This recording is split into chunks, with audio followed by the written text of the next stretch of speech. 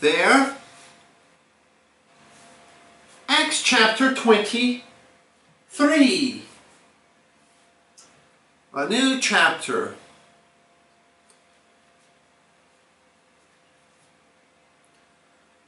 This is New Testament video 399, Acts lesson 75.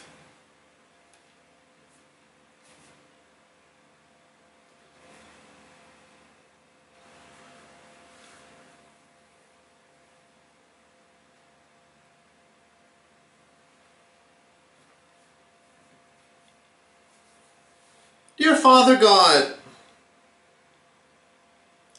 thank you for another day of grace.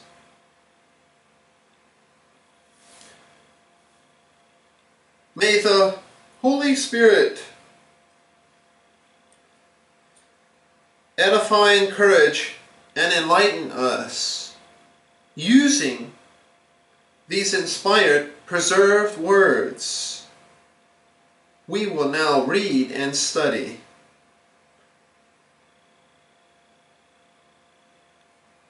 Pray in the name of Jesus Christ. Amen.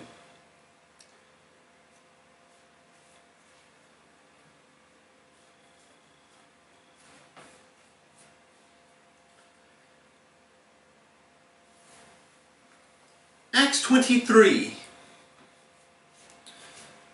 Acts chapter 23.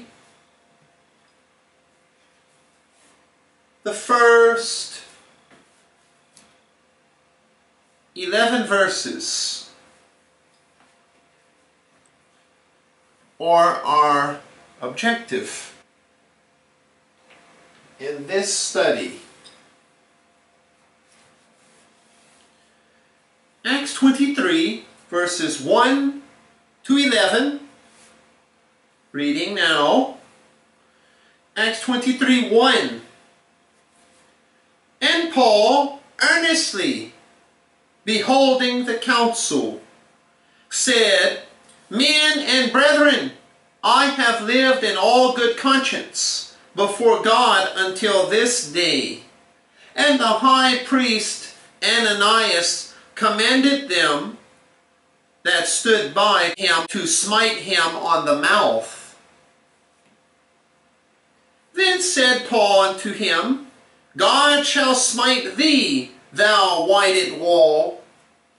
For sittest thou to judge me after the law, and commandest me to be smitten contrary to the law? And they that stood by said, Revilest thou God's high priest? Then said Paul, I wist not, brethren, that he was the high priest. For it is written, Thou shalt not speak evil of the ruler of thy people. But when Paul perceived that the one part were Sadducees and the other Pharisees, he cried out in the council, Men and brethren, I am a Pharisee, the son of a Pharisee. Of the hope and resurrection of the dead am I called in question. And when he had so said, there arose a dissension between the Pharisees and the Sadducees, and the multitude was divided. For the Sadducees say that there is no resurrection, neither angel nor spirit, but the Pharisees confess both. And there arose a great cry, and the scribes that were of the Pharisees' part arose and strove, saying, We find no evil in this man, but if a spirit or an angel hath spoken to him, let us not fight against God. And when there arose a great dissension, the chief captain, fearing lest Paul should have been pulled in pieces of them, commanded the soldiers to go down and to take him by force from among them and to bring him into the castle. And the night following, the Lord stood by him and said, Be of good cheer, Paul, for as thou hast testified of me in Jerusalem, so must thou bear witness also at Rome.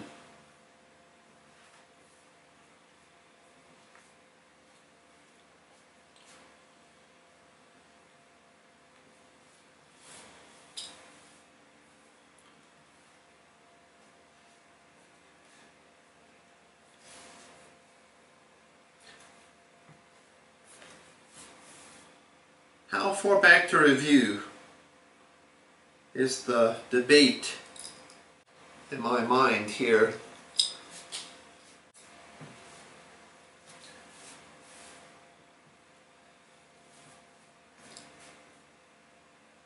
Acts 21. Start there. Acts 21. Paul concluded his third apostolic, not missionary, apostolic journey. He's in Jerusalem. In Acts 21, with a twofold purpose. One, to bring the collection, the financial relief, to the poor saints at Jerusalem who belong to the Messianic Church, Israel's believing remnant. The relief he has collected from his Gentile saints, converts, believers in Greece and elsewhere.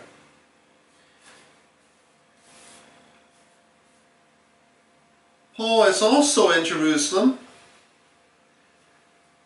to preach the Lord Jesus Christ to unsaved Israel.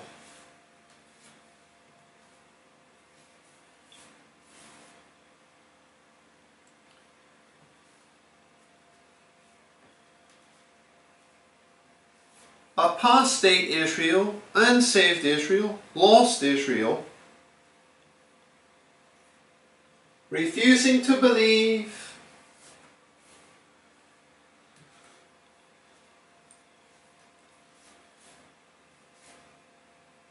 whether Peter's ministry, early Acts, or Paul's ministry now, latter Acts. Lost Israel in Acts 21 lies about the Apostle Paul.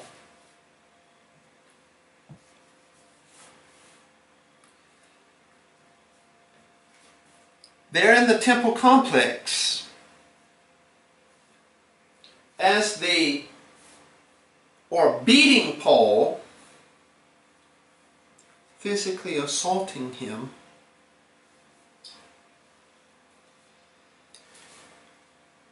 The chief captain, the colonel, his name is Claudius Lysias. We'll learn his name here in Acts 23. We don't know his name yet in Acts 21, but it's Claudius Lysias. The commander or the colonel of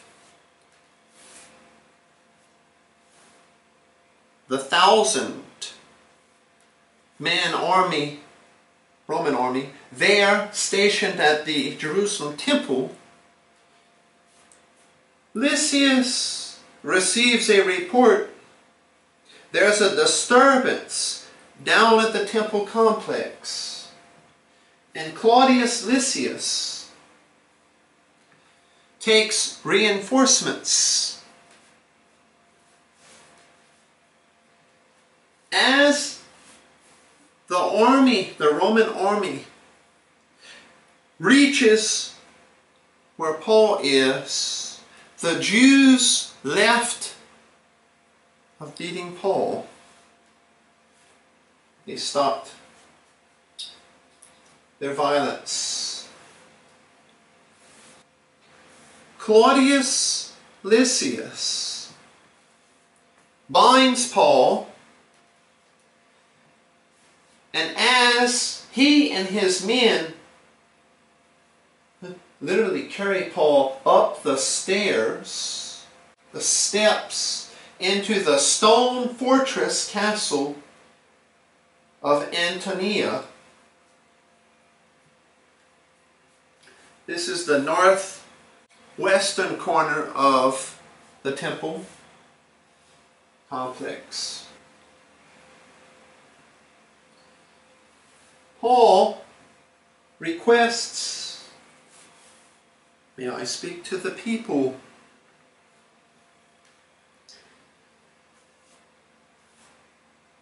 Lysias gives him license, permission. Go ahead, Paul. Acts 22. Paul's testimony.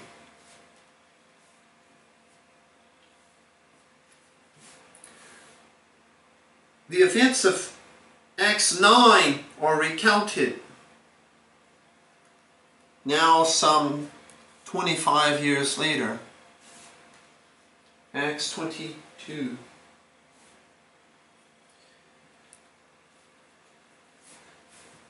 Paul explains how, as Saul of Tarsus, he used to be an apostate Jew too. Not anymore. Why? He lays it out for them. I personally met outside of Damascus the resurrected, ascended, and glorified Lord Jesus Christ. He saved me from my self-righteousness, my quote goodness. He saved me from my sins. And he commissioned me with a new gospel message.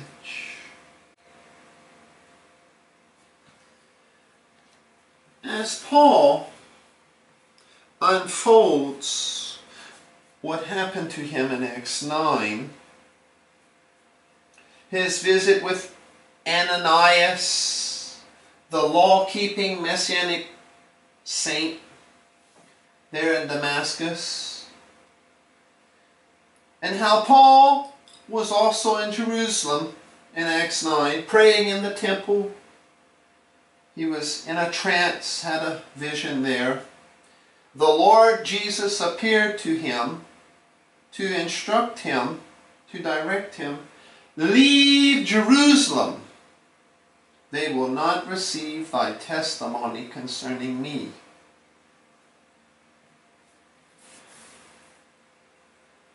I send thee to the Gentiles, Paul. In Acts 22, apostate Israel interrupts there.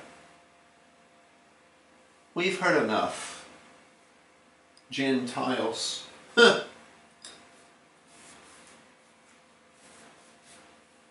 They threw off their clothes, Acts 22, 23.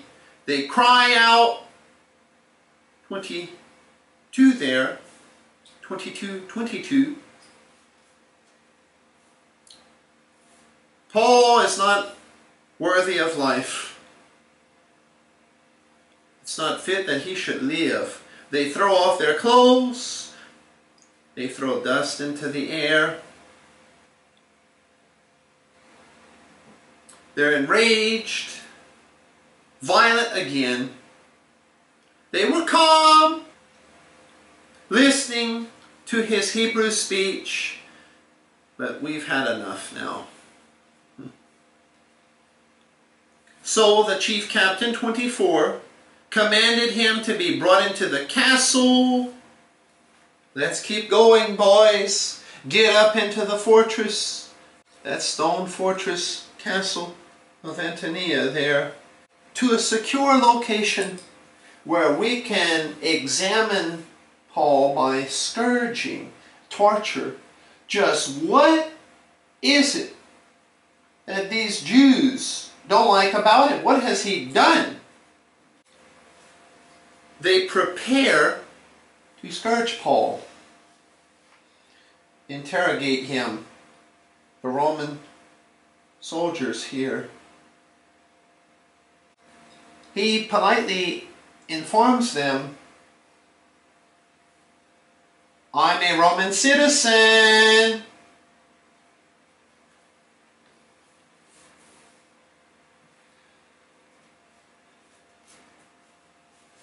This is illegal.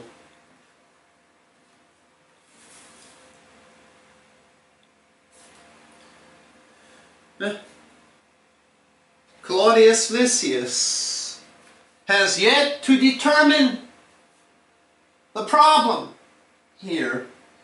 Well, we can forget a confession by torture. We cannot torture him. So Claudius Lysias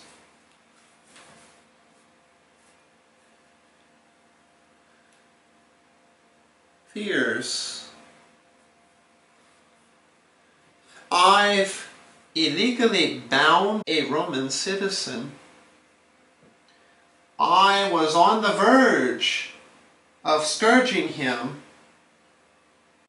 Claudius Lysias is scared What do I do now? Oh! I have an idea. And this was how we closed our last study. Acts 22, 30. On the morrow, because he, Claudius Lysias, the chief captain, would have known the certainty wherefore he was accused of the Jews, he loosed him from his bands, shackles, and commanded the chief priests and all their council, the Sanhedrin, the Jewish Supreme Court, to appear, and brought Paul down and set him before them. So Paul appears in front of the Sanhedrin to give a speech, sermon, discourse.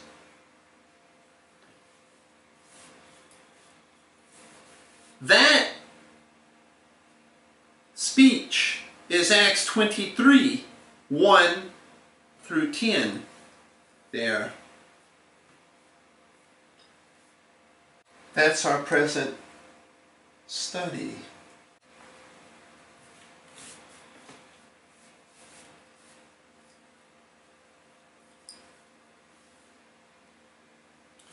Paul's six defenses, discourses, or speeches here in this part of Acts. Acts 22 that was number one. Acts 23 here is number two. There's a third speech, Acts 24. A fourth speech, Acts 25. A fifth speech, Acts 26. And a sixth speech, Acts 28.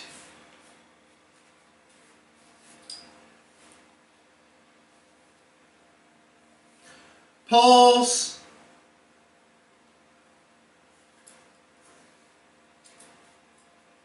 speech before the Sanhedrin, the Jewish Supreme Court,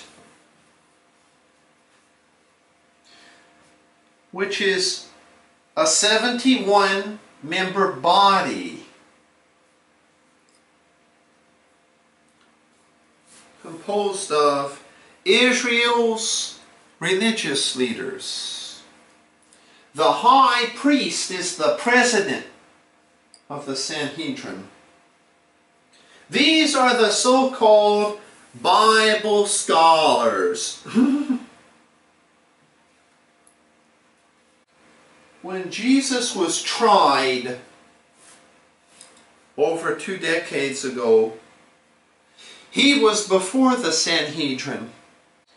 In early Acts, Acts 4, Acts 5, Acts 6, Acts 7, Israel's apostles and Stephen spoke before the Sanhedrin.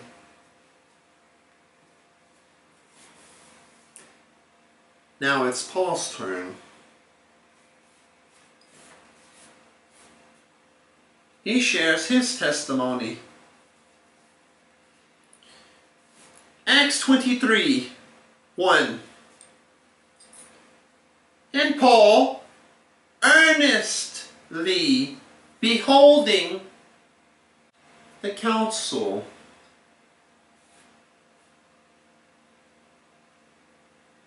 he looks around at all those faces staring at him, dozens of men.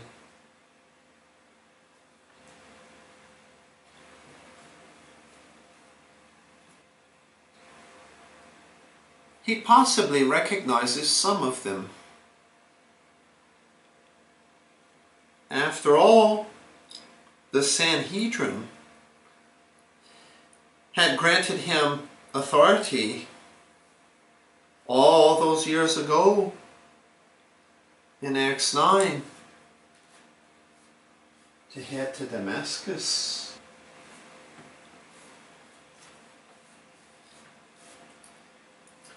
There may be some of Saul's, Paul's, former friends here. Oh, they're much older, like he is.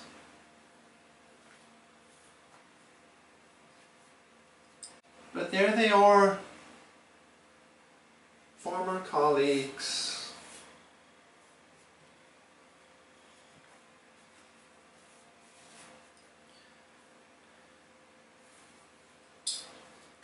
Acts 23, 1.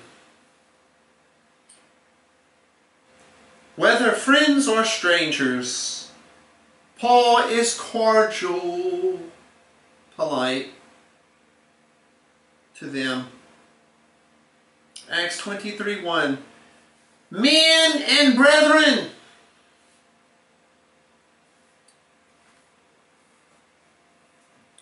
not his spiritual brethren, but his physical brethren, his fellow Jews.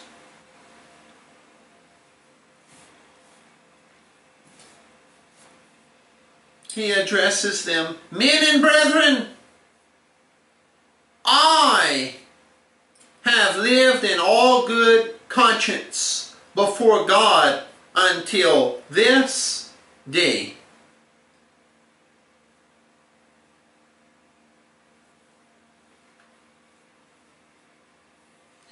He recounts all the way back up to right now. I have lived in all good conscience before God until this day. Romans 2. Romans 2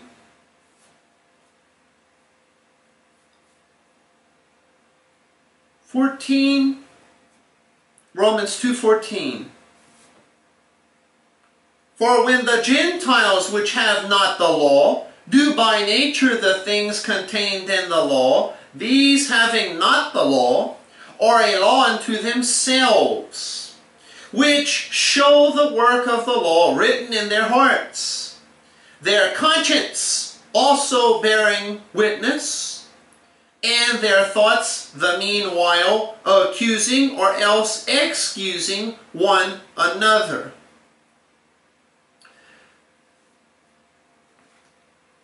The conscience.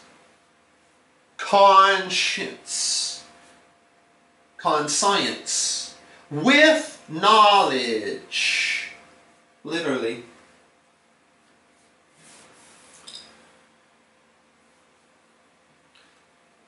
The conscience is the internal system in our heart of standards and norms that we use to evaluate what we should think and do.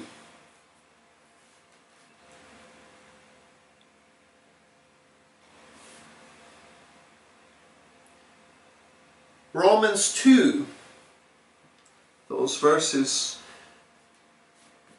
we read moments ago, I read moments ago. I hope you were reading in your own Bible, King James Bible, with me there. The conscience and the law. Although the law of Moses was given to Israel, Israel, not the Gentiles. That did not mean the Gentiles had no spiritual light whatsoever. The sense of right and wrong, the knowledge of right versus wrong. Israel had that codified in the law. Here is what God says don't do. Here is what God says do. The Gentiles did not have the law. Unto the Jews were committed the oracles of God, the Word of God, the law, Bible, Old Testament scriptures, the Hebrew Bible. Anyway,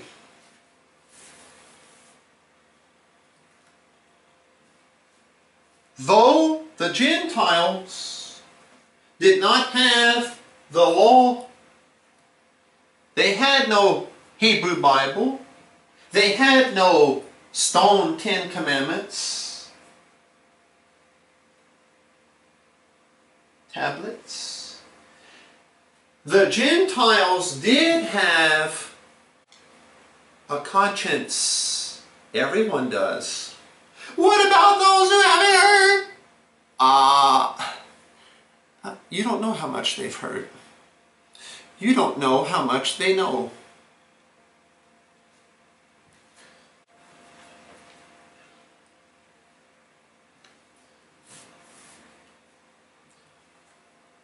The Gentiles still had some basic understanding between right and wrong. Israel had the law, Gentiles had conscience, but everybody knew a little something from the Creator God.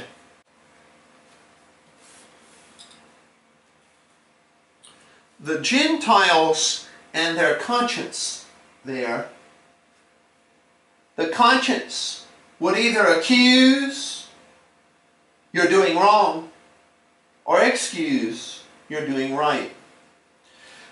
Not to say the conscience was perfect. infallible, inerrant. Because the conscience can be perverted, corrupted.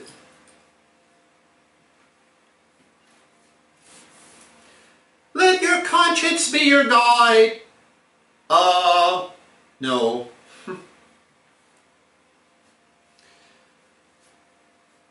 we have the Holy Bible. Let it, rightly divided, be our guide.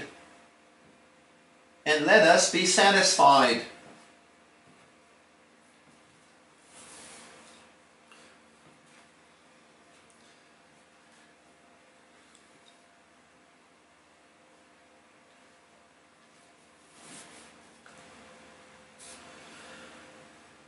Whether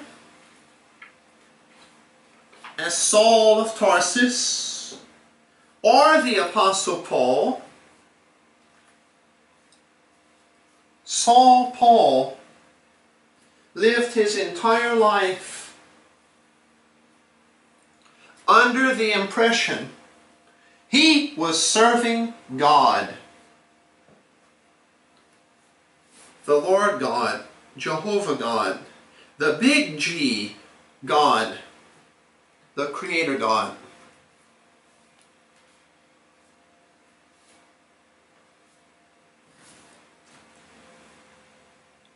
Acts 23 1 I have lived in all good conscience before God until this day. Acts 24 Acts 24 16. And herein do I exercise myself to have always a conscience void of offense toward God and toward men.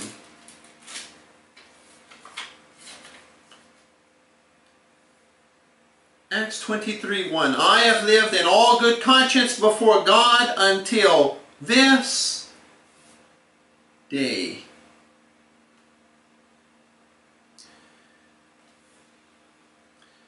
Now you think about it. 1 Corinthians 8. Let me make these observations first. 1 Corinthians 8. There is what is known as the weak conscience. No good doctrine in it. Can't be mature. Little to no sound doctrine. No mature advanced doctrine. So the person has a weak conscience.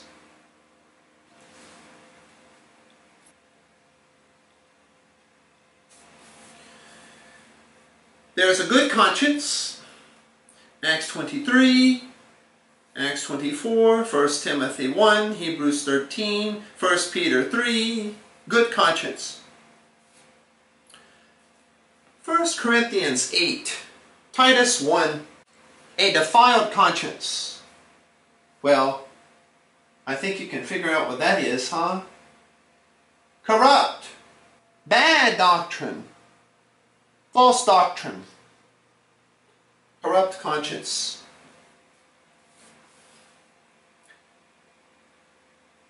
First Timothy 4, verse 2, their conscience is seared with a hot iron. Now, do you have to be a genius to comprehend that the conscience seared with a hot iron? In other words, nothing bothers the seared conscience. I do whatever I want.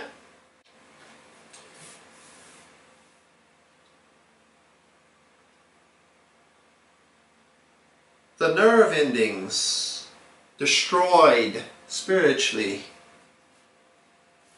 Sin doesn't bother me. They're just so comfortable with their error.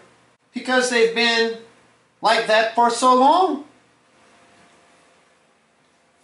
Seared with a hot iron, rendered insensitive, callous, apathetic. The person doesn't care.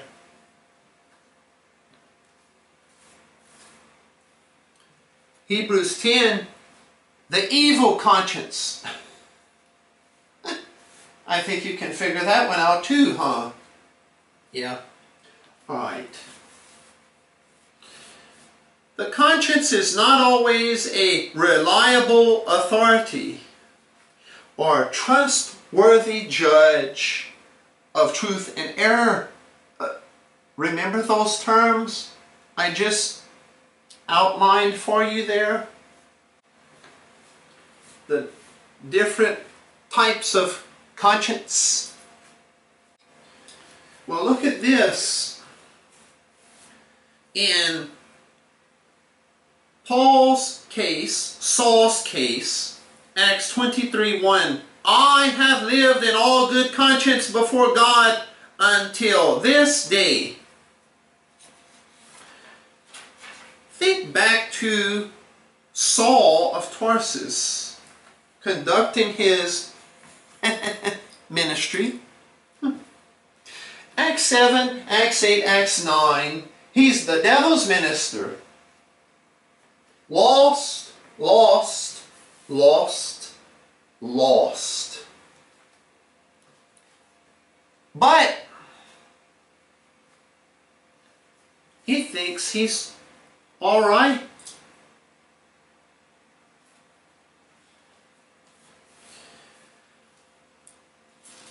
John 16. Disturbing. John 16, 2. The Lord Jesus, the upper room discourse,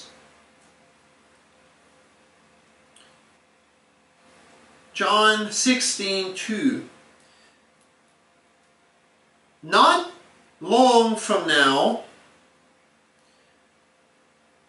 Christ Jesus will be arrested, tried, wrongfully condemned, and crucified. John 16, 2. Hey, little flock,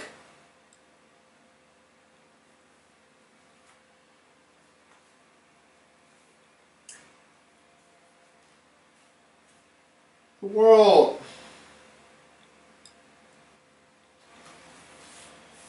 will treat you like they treated me because you belong to me and they belong to the devil.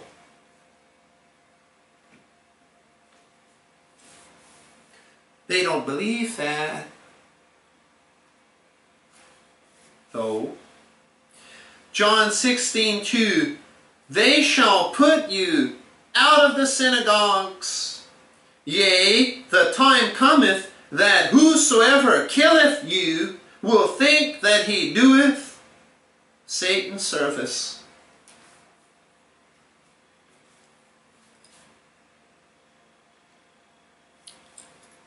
Wrong. no, no Satan here. John 16, 2.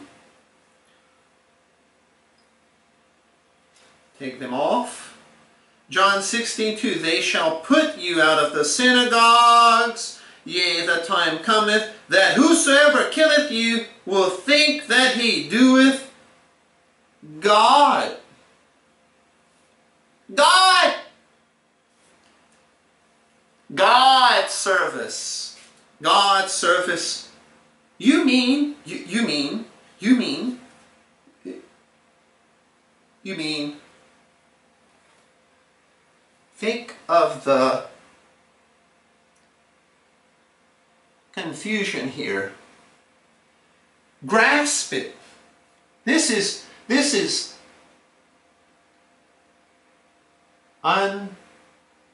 unfathomable, incomprehensible.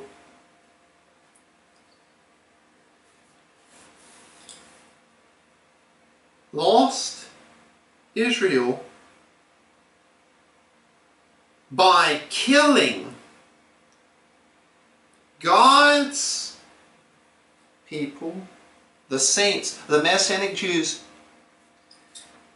unbelieving Israel will be under the impression by killing Jesus' followers.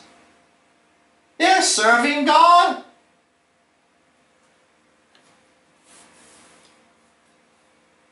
Madness. Madness. This is crazy. This is folly, but this is mindless works religion. And participants in Satan's evil world system, they're religious, but lost. Still, they don't believe they are.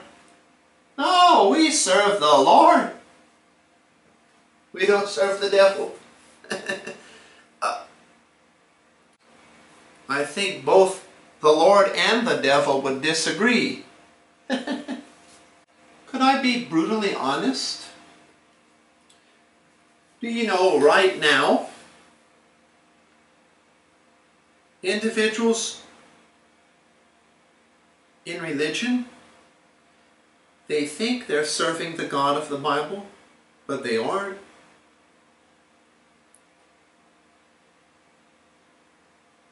They're doing someone else service, and it's not the God of the Bible. Huh.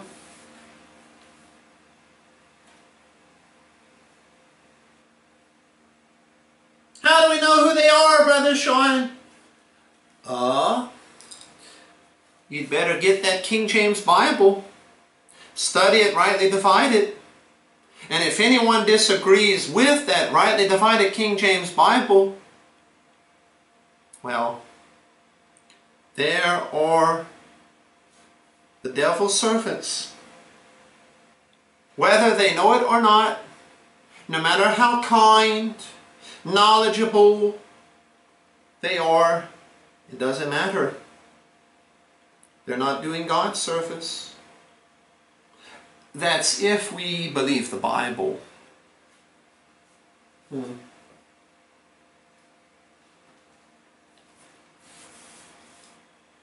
I don't believe the Bible. Fine, wonderful. Enjoy the error. Have it.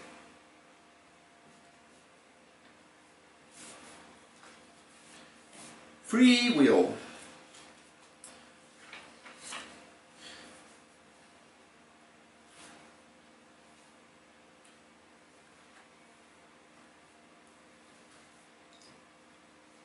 Leads the nation Israel's rebellion against Jesus Christ in early Acts. Because Jesus' sermon there in John 16 prepares the little flock for their Acts ministry. Saul of Tarsus is at the head of Israel's rebellion in early Acts. Acts 7, Acts 8, Acts 9. Repeated Acts 22 and Acts 26, Galatians 1 and Philippians 3 and 1 Timothy 1 and on and on and on.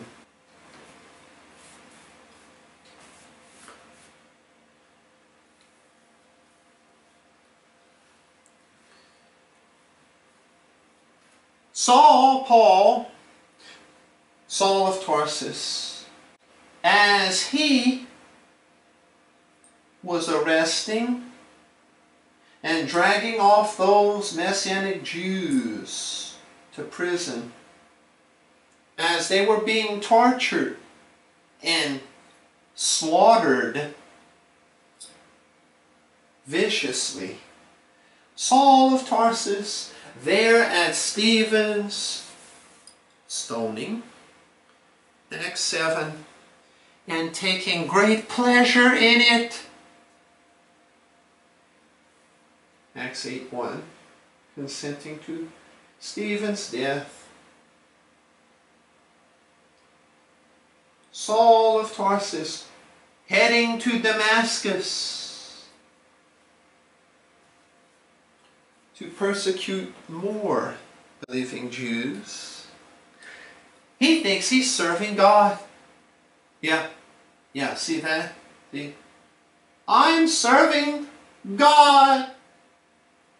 the little g God, though, the God of this world, not the big G God, not the capital G, the uppercase G God. Saul didn't know it yet, but he found out outside of Damascus. Uh-oh! I've been serving the wrong God all along. Mm-hmm, you have. Saul, it's time you have stopped wasting time with nonsense.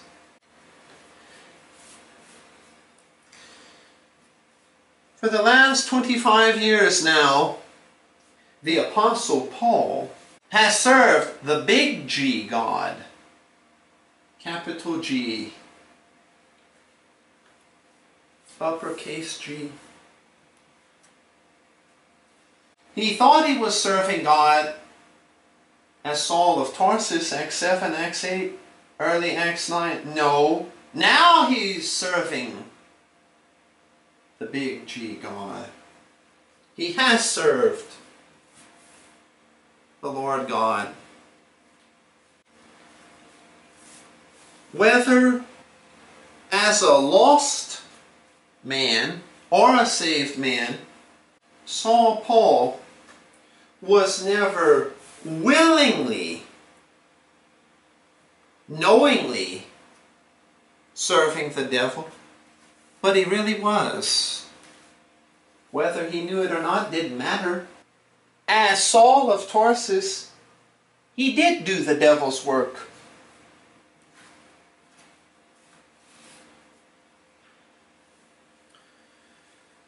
Acts 23 1 and Paul, earnestly beholding the council, said, Men and brethren, I have lived in all good conscience before God until this day. 2. And the high priest Ananias commanded them that stood by him to praise the Lord. No.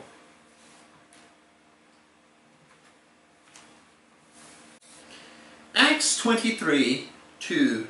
And the high priest Ananias commanded them that stood by him to smite him on the mouth.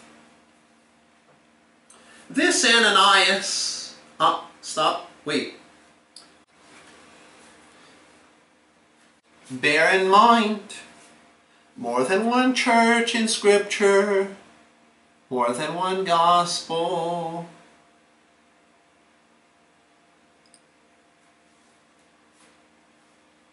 There's more than one. Mary. There's more than one. Jesus. There's more than one. Simon. There's more than one Caesar, more than one Herod, more than one baptism, more than one Judas, more than one Spirit, more than one James, more than one Antioch. We grow up. Ananias, Acts 23, is a high priest here. But this is not the Ananias of Acts 9. Acts 22. This is another Ananias. See? More than one Ananias in the Bible.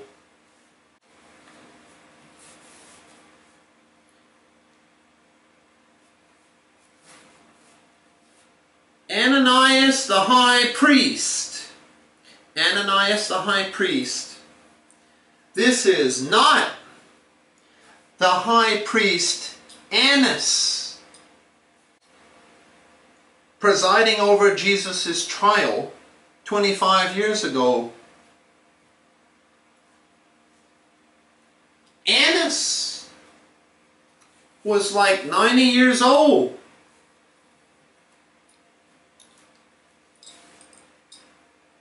He'd be 115 now.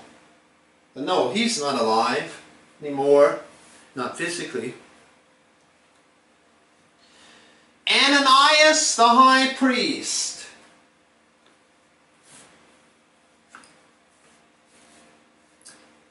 Ruled to approximately AD 59. So that gives us a window of time. Ananias the high priest served in the 50s, but not beyond 60.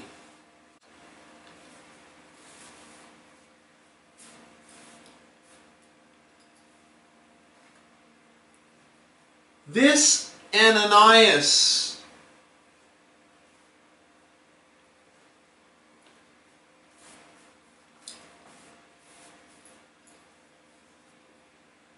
was historically known for his brutality.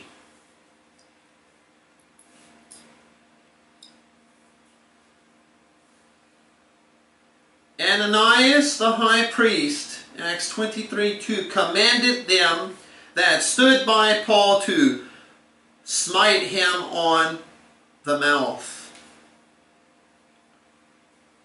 To punch Paul's mouth to smack him in the mouth, on the mouth, strike him.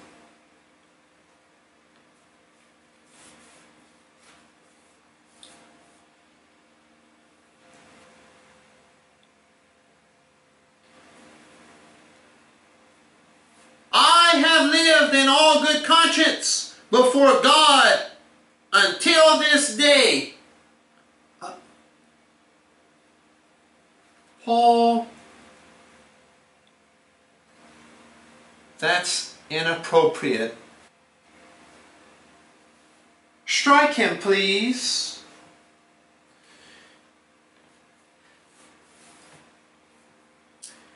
In the eyes of apostate Israel, Paul is apostate. Ironically, Paul seems to be the unbeliever here. Paul is arrogant. Paul has fallen from the truth. They think.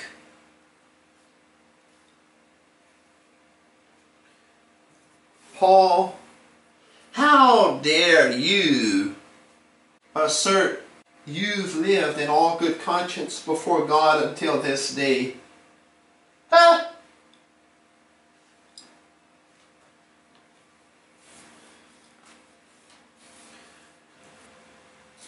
In their mind, Paul is a godless renegade, a rebel, or following Jesus of Nazareth. You started the sect of the Nazarenes. Look at that charge. Acts 24, 5. For we have found this man Paul, a pestilent fellow. oh, they say that about Christians today. And a mover of sedition among all the Jews throughout the world, and a ringleader of the sect of the Nazarenes. Paul started that cult. Hmm. He's some rabbinical scholar gone crazy. He hated Jesus of Nazareth with a passion, and now he preaches him equally as fervently. A very strange man we have here, boys. This Paul, this Saul of Tarsus.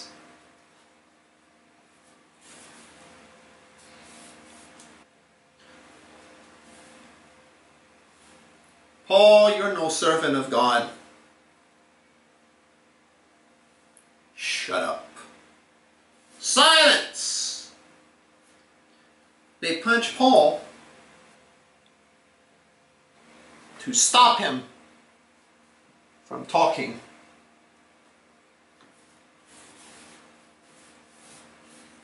John 18. John 18, 22. And when he had thus spoken, one of the officers which stood by struck Jesus with the palm of his hand, saying, Answerest thou the high priest so?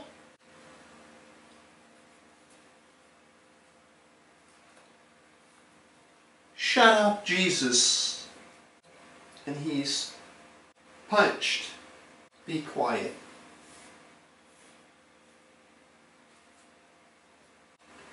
Shut up, Jesus. Shut up, Paul.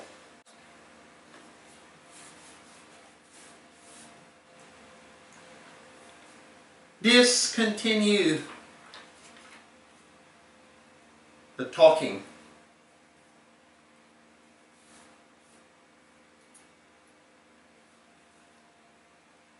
In Acts 21 21, they're informed of Paul that he teaches all the Jews which are among the Gentiles to forsake Moses, saying that they ought not to circumcise their children, neither to walk after the customs. 28 there.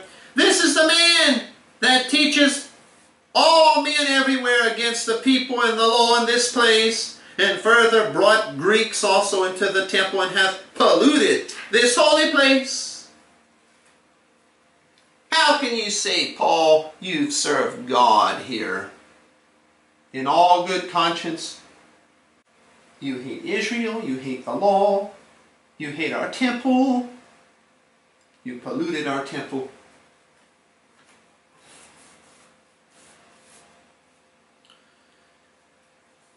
Acts 23, 1.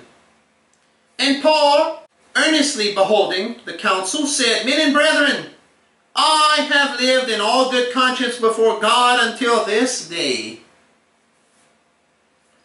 You liar, you. That's what Ananias is thinking, and the rest of the Sanhedrin. And the high priest Ananias commanded them that stood by to smite him on the mouth. Verse 3 Then said Paul unto him, God shall smite thee, thou whited wall. For sittest thou to judge me after the law, and commandest me to be smitten contrary to the law?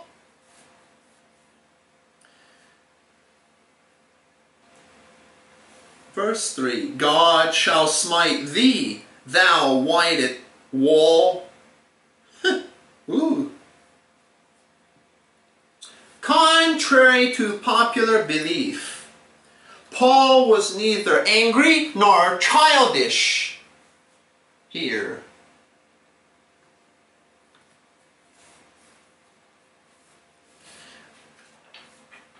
Paul wrote in Romans 12, Romans 12,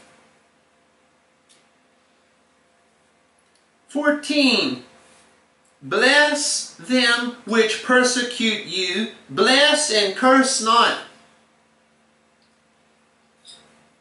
17. Recompense to no man evil for evil, retaliation. Provide things honest in the sight of all men, if it be possible, as much as lieth in you. Live peaceably with all men, dearly beloved, avenge not yourselves, but rather give place unto wrath. For it is written, Vengeance is mine, I will repay, saith the Lord. Deuteronomy 32. Therefore, if thine enemy hunger, feed him. If he thirst, give him drink. For in so doing, thou shalt heap coals of fire on his head. Be not overcome of evil, but overcome evil with good. Titus, Titus 3. Put them in mind to be subject to principalities and powers, to obey magistrates, government, to be ready to every good work, to speak evil of no man, to be no brawlers, but gentle, showing all meekness unto all men. How could Paul respond? Acts 23, 3. God shall smite thee, thou whited wall. Paul is not vindictive or petty or immature.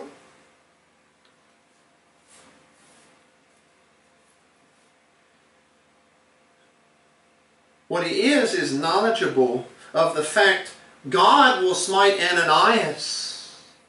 Ananias will not get away with what he has done, what he is doing. You see, the Lord does not sleep, meaning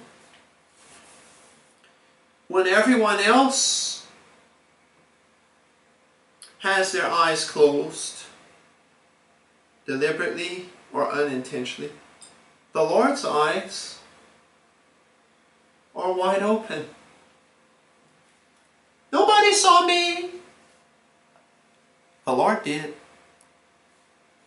hmm.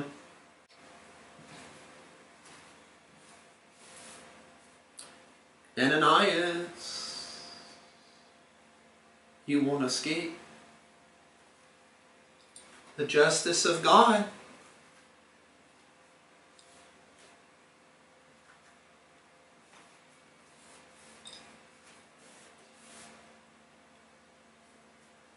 Thou whited wall. A whited wall. Matthew 23. Reminiscent of the Lord Jesus in Matthew 23. Hmm. now there is an eye-opening chapter. Matthew 23. Read it if you haven't done so already.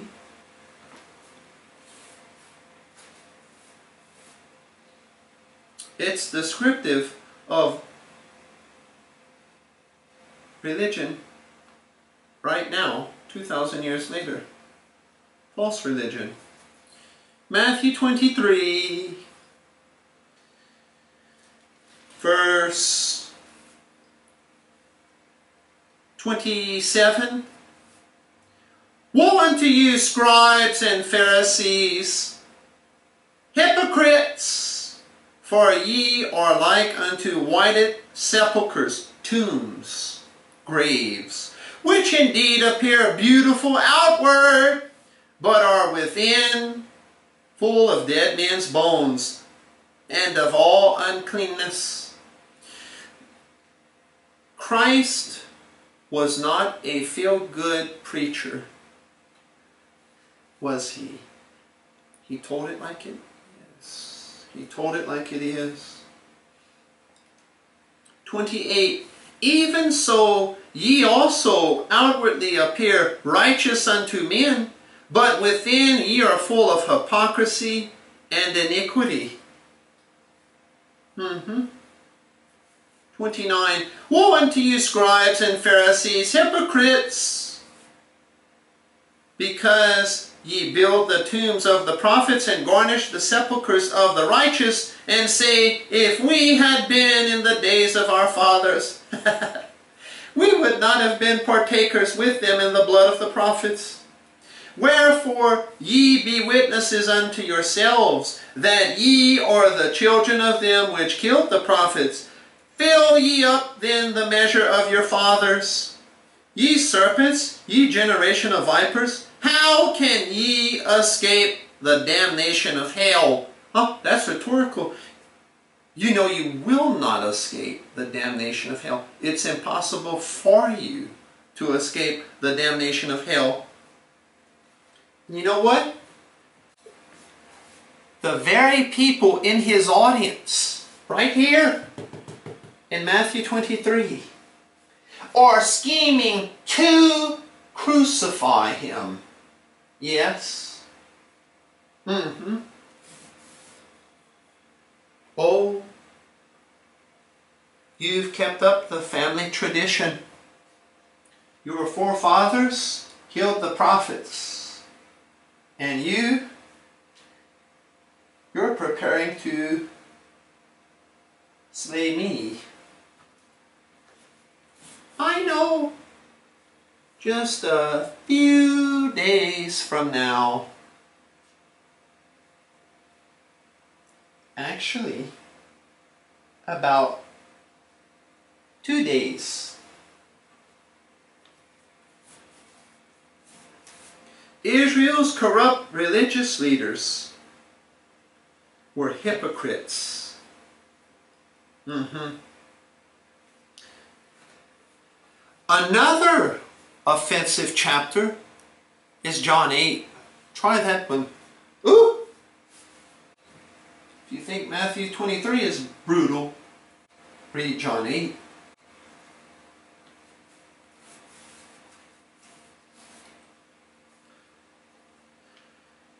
Whited sepulchres. Matthew 23, 27. The Jews would paint the tombs white. Bright white, stay away, unclean corpses here. Body parts, bones, don't touch, or you will be ceremonially unclean, defiled. See, the law of Moses told them about that. Don't touch dead bodies or body parts.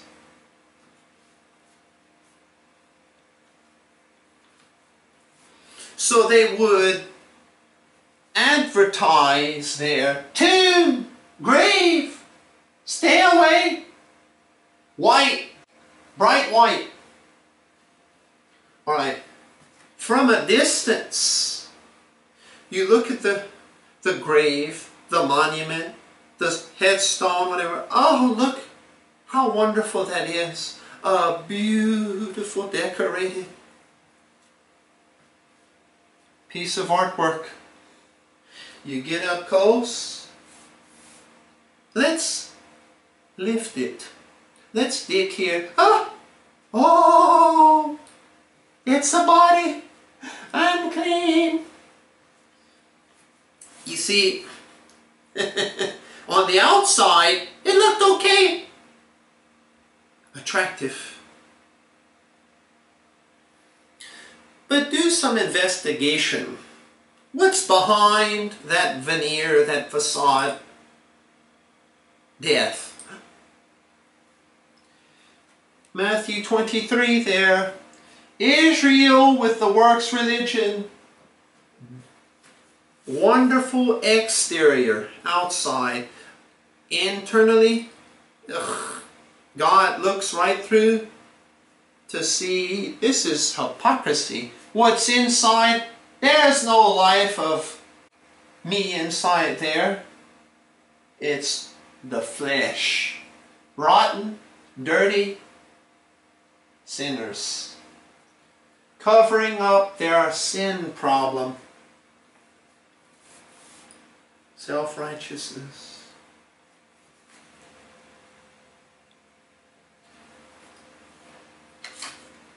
Acts 23. 3.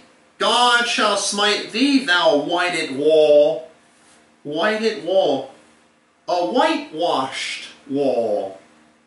Say that three times fast. Whitewashed wall, whitewashed wall, whitewashed wall. Whitewash was a paint, that's that white paint, of lime and chalk.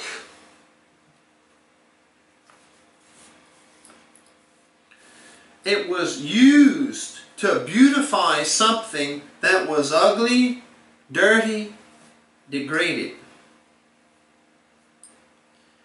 Ananias, you're nothing but a hypocrite, a whited wall.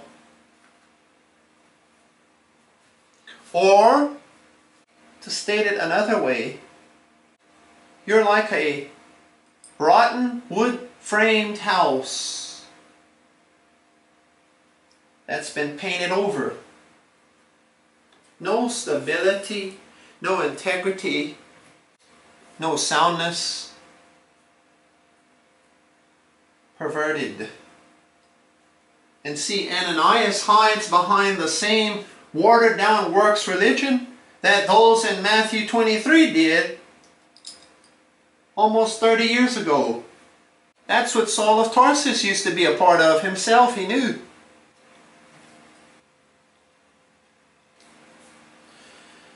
Religion is useful in disguising hypocrisy, even now. The Bible is relevant. It's 2,000 years old, its most recent portions, and yet it's so current.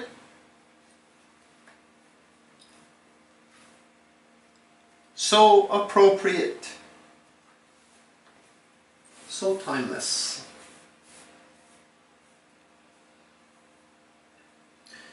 Acts 23. 3. Then said Paul unto him, God shall smite thee, thou whited wall, for sittest thou to judge me after the law, and commandest me to be smitten contrary to the law? The high priest, he was supposed to be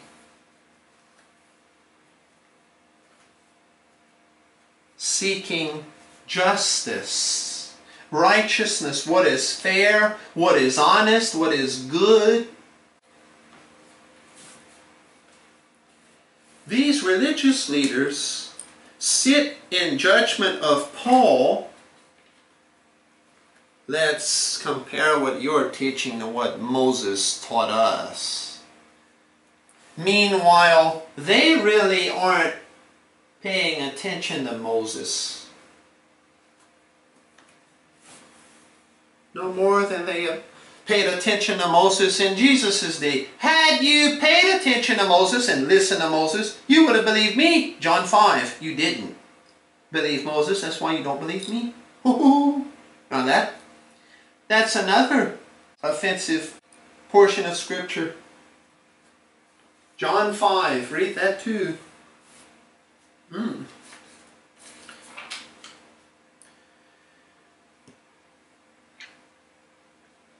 Thou sittest to judge me after the law and commandest me to be smitten contrary to the law? Exodus. Paul is a rabbinical scholar trained under Gamaliel, Gamaliel, Acts 22. He knows the Hebrew Bible. Exodus 23, for instance.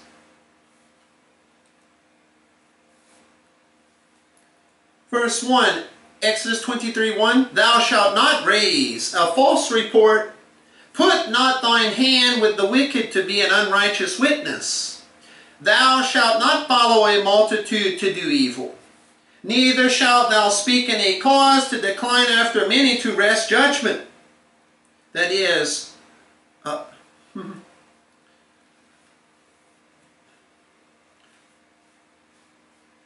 corruption in the courts.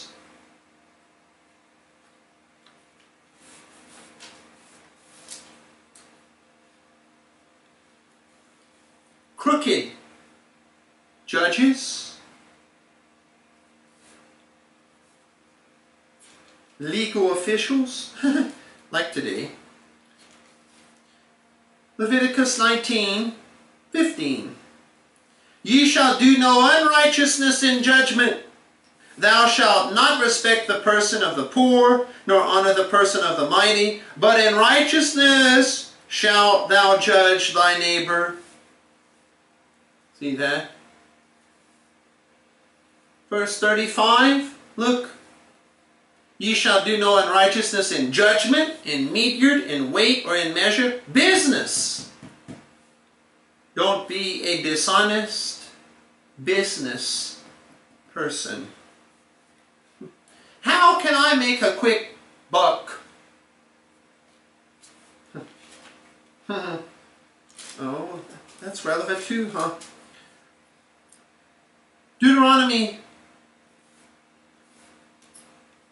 19. Deuteronomy 19.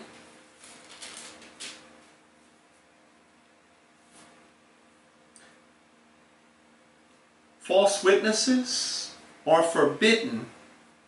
Well, you remember, thou shalt not bear false witness.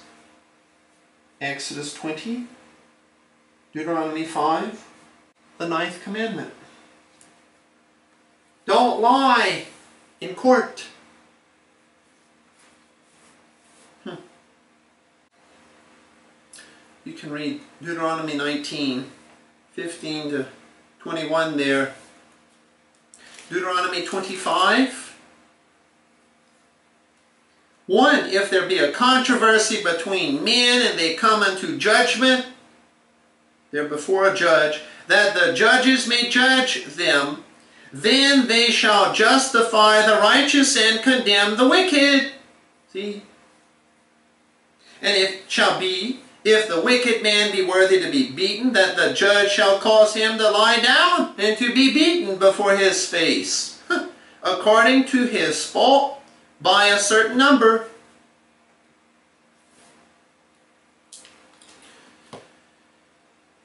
John 7. John 7, 51. Doth our law judge any man before it hear him and know what he doeth? No. No. One other verse. Proverbs 18, 13. He that answereth a matter before he heareth it it is folly and shame unto him. I don't know what's about to be said, but I already have an answer for it. Stupid. Preposterous.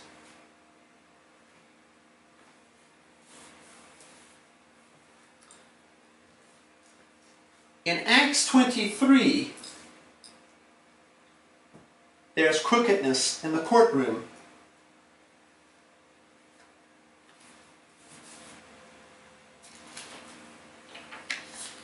Ananias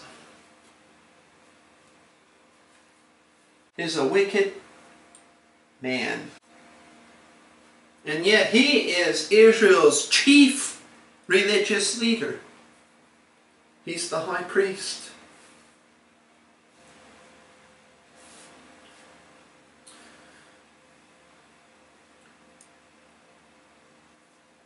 The Jewish historian Josephus writes just a few years after this, a Jewish war broke out against the Romans in Jerusalem, and Ananias the high priest and his brother Hezekiah were killed assassinated. Ananias here, the high priest, was slain by his own Jewish people.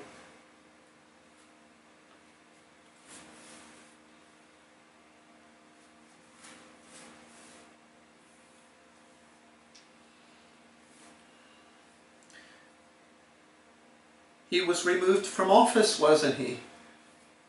Acts 23. 3. You have commanded I be smitten contrary to the law. There is no righteousness here. There is no justice here. This is a mockery.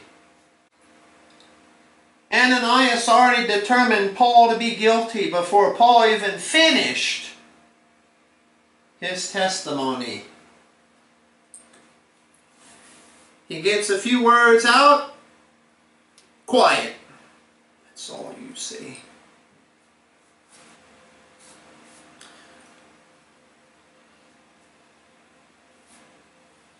Acts 23, 4.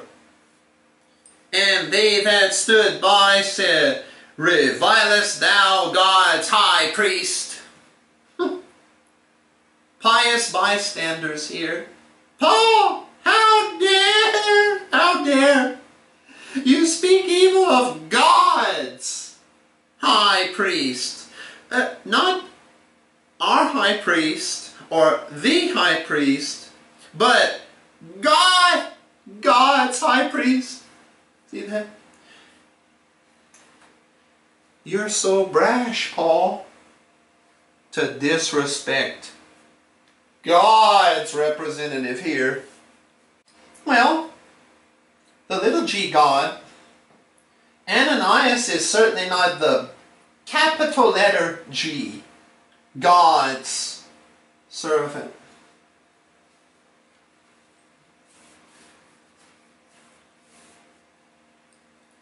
Paul is God's servant, but not Ananias.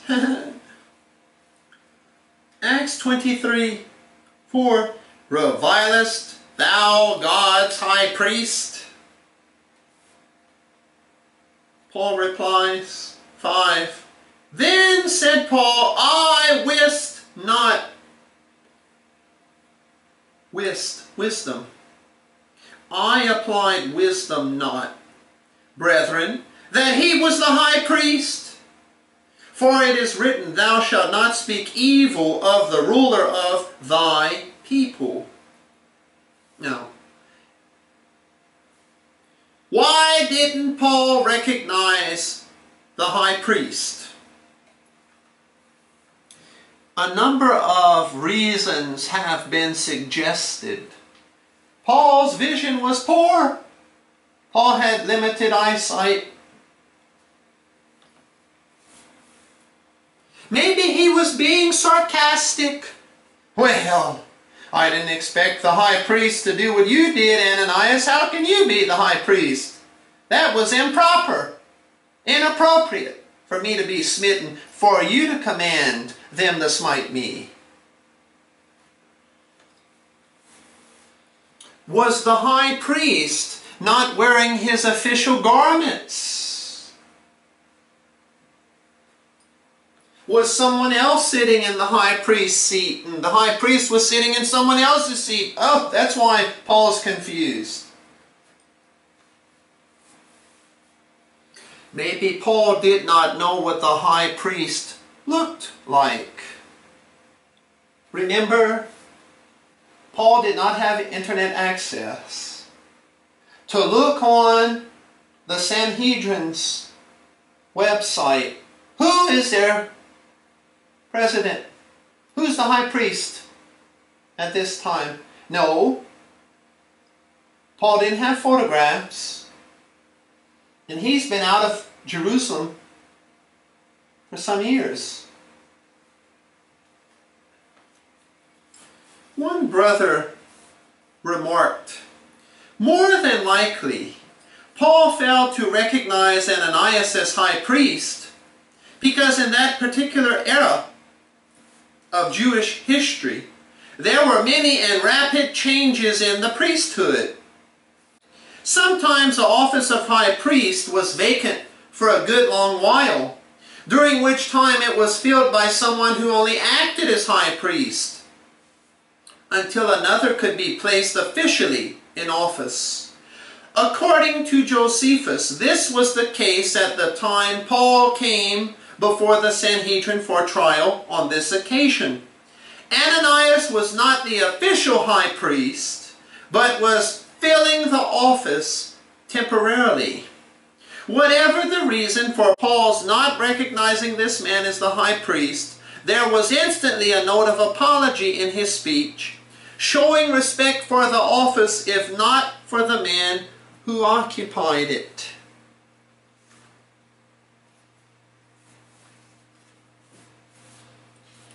Again, Acts 22 3. I was brought up in this city at the feet of Gamaliel, Gamaliel, rabbi, the finest rabbi of that time, and taught according to the perfect manner of the law of the fathers, and was zealous toward God. See, I was serving God. He thought he was. As ye all are this day. They think they are. Paul is a trained rabbinical scholar. He's an expert in Jewish law, the Hebrew Bible. Acts 23, 5. Look, he demonstrates. Then said Paul, I wist not, brethren, that he was the high priest. For it is written, not it was written, but it is written. That's preservation. Bible preservation. Moses wrote this 1500 years prior to Paul. But it's still written. Why? In manuscript copies.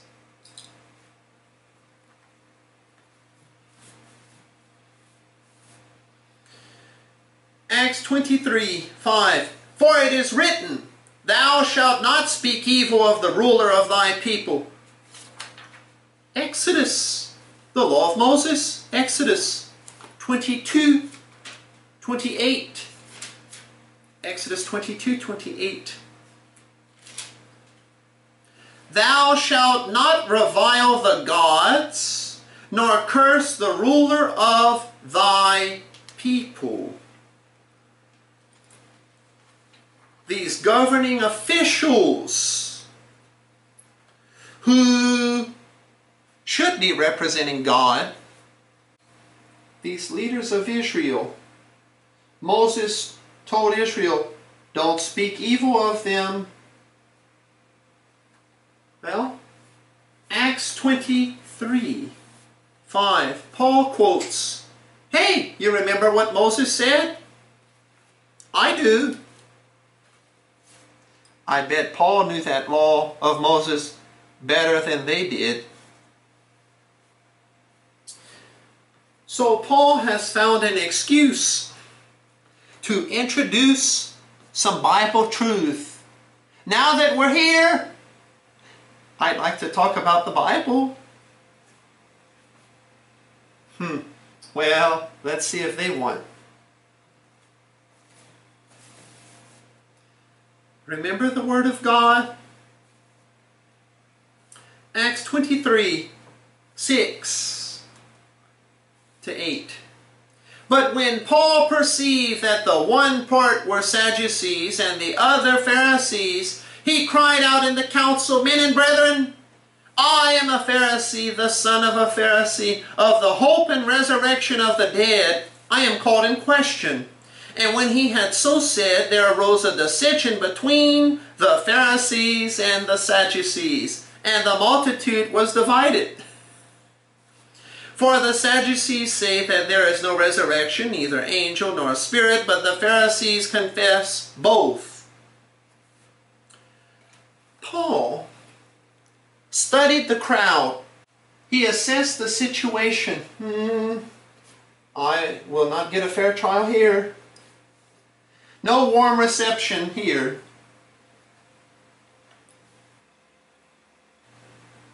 So he proceeds to employ that old military strategy of divide and conquer.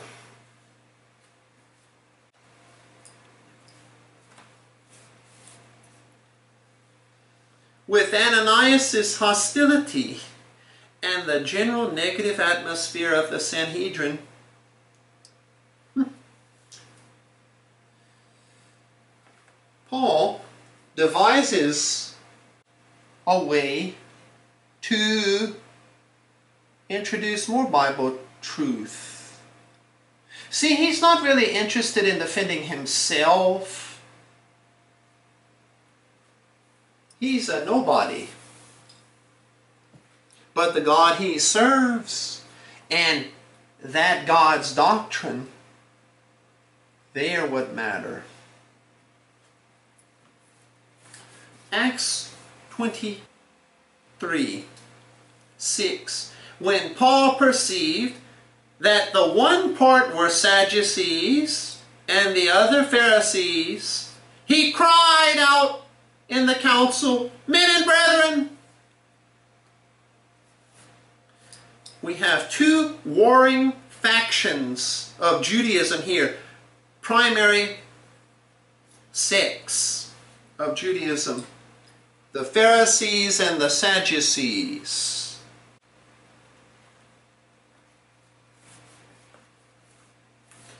Paul takes advantage of this major disagreement between those parties. Men and brethren, Acts 23 6, I am a Pharisee. Acts 22 3, I was brought up at the feet of Gamaliel. Gamaliel. Gamaliel, Acts 5, 34, was a Pharisee. Uh, Paul is a Pharisee. Acts 26, 5, which knew me from the beginning, if they would testify that after the most straightest sect of our religion I live a Pharisee. Philippians 3 5. Philippians 3 5. Circumcised the eighth day of the stock of Israel, of the tribe of Benjamin, and Hebrew of the Hebrews, as touching the law of Pharisee. I'm not a proselyte, I'm not a Gentile, I am a blood Jew, and I am a rabbinical scholar. I'm a Pharisee. I am trained in the law of Moses.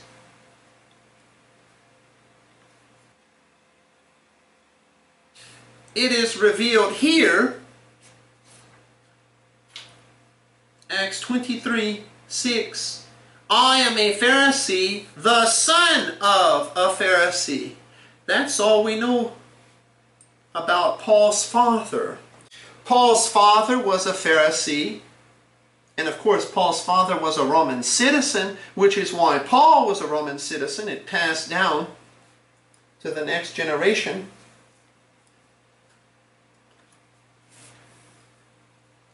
Paul's father was a Pharisee. Paul's teacher Gamaliel, Gamaliel was a Pharisee. Paul was a Pharisee is a Pharisee. Acts 23, 6. Of the hope and resurrection of the dead, I am called in question. The hope and resurrection of the dead. This hope here, this is not Israel's kingdom. Paul did not preach the gospel of the kingdom.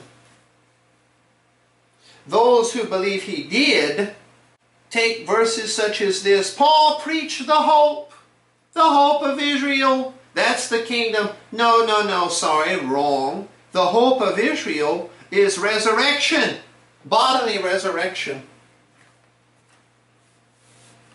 See, in this context, it tells you Acts 23, 6, of the hope and resurrection of the dead. The dead hope to be resurrected. See that? Resurrection is the hope. We won't stay dead. See, physically they're dead, spiritually, in the spiritual realm, they're still alive. Acts 24, 15.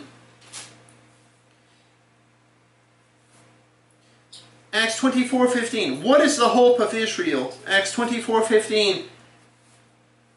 And have hope toward God, which they themselves also allow that there shall be a resurrection of the dead, both of the just and unjust. See, the Jews have a hope toward God. There will be a resurrection of the dead, bodily resurrection. See? 21. Touching the resurrection of the dead, I am called in question by you this day. Acts 26, 6. And now I stand and am judged for the hope of the promise made of God unto our fathers, unto which promise our twelve tribes instantly serving God day and night hope to come. For which hope's sake, King Agrippa, I am accused of the Jews. 8. Why should it be thought a thing incredible with you that God should raise the dead? Acts 28, 20. For this cause, therefore, have I called for you to see you and to speak with you, because that for the hope of Israel I am bound with this chain. The hope there is the hope of resurrection, bodily resurrection.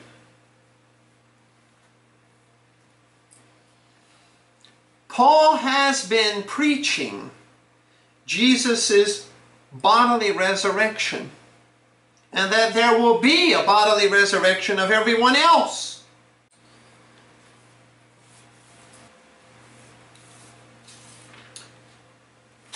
Bodily resurrection is the hope of the Abrahamic covenant. Romans 4, 17, 16, see there, Abraham. 17, as it is written, I have made thee a father of many nations before him whom he believed, even God, who quickeneth the dead. Resurrection gives life to the dead. And calleth those things which be not as though they were. God quickens the dead. Abraham, he was physically incapable of reproducing. He was too old. That's all right. Abraham's reproductive organs were functionally dead. Sarah's womb was dead. God gave both sets of organs life. And look, a child's produced, Isaac. Bodily resurrection. You read Genesis 17, for example. I will give the promised land, Abraham, to thee and thy seed forever. Well, Abraham needs to be resurrected to go into that land forever. He and all his other descendants who died physically. Bodily resurrection.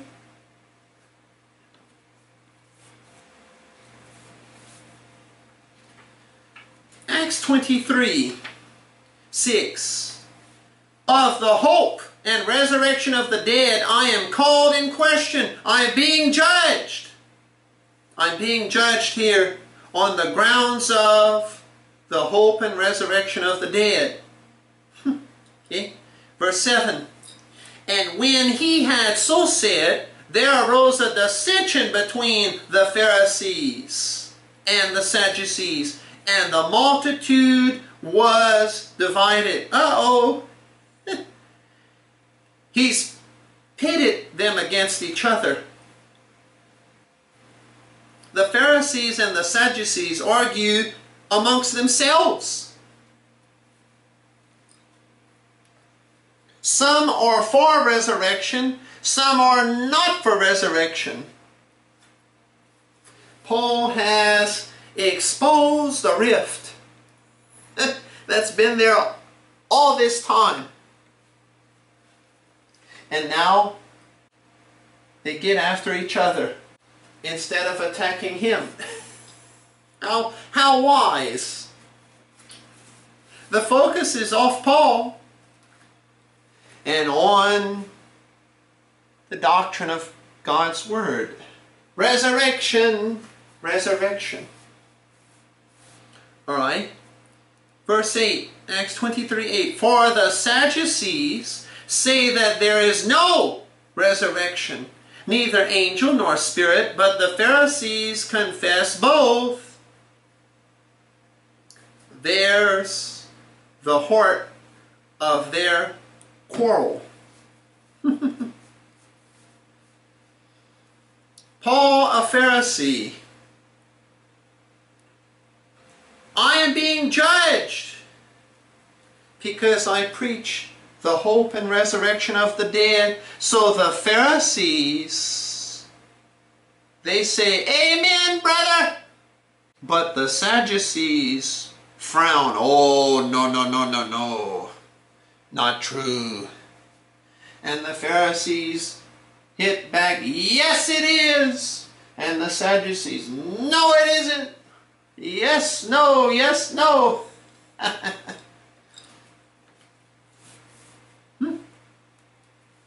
So there's a heated debate, intense. The Sadducees say there's no resurrection, no such thing as angels, no spirits. Matthew 22, Matthew 22, 23. The same day came to him the Sadducees with a trick question, which say that there is no resurrection, and they ask him about resurrection. we don't believe in resurrection, but Jesus, we have a resurrection question. You want to respond?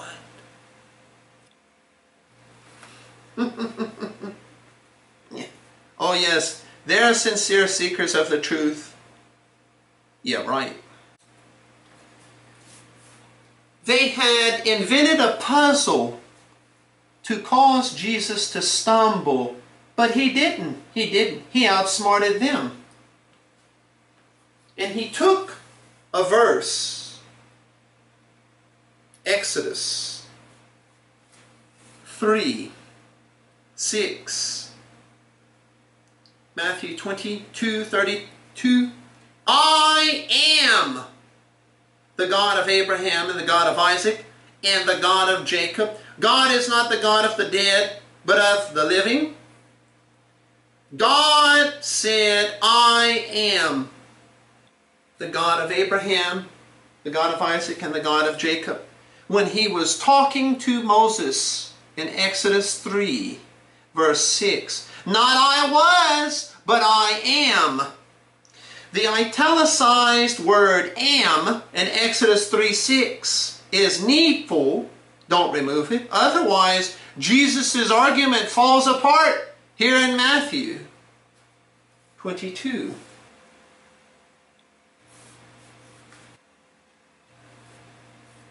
I am.